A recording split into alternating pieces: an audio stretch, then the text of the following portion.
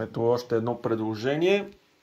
Апартамент на последния етаж с една кухничка, с миялна машина, фурна, хладилник, всичко необходимо за вашето пребиваване. Преместваме се в хола, разтегателен диван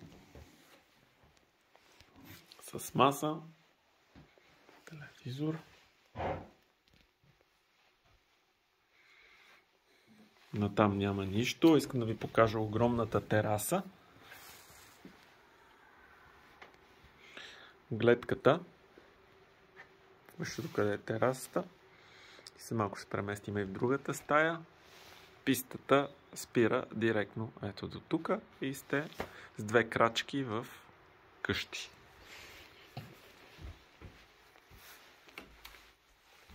И сега отиваме да ви покажа стаята.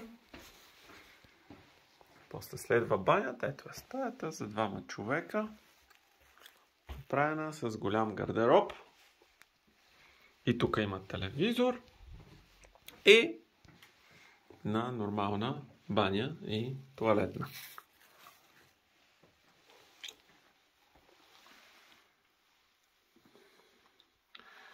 Това е нашето последно предложение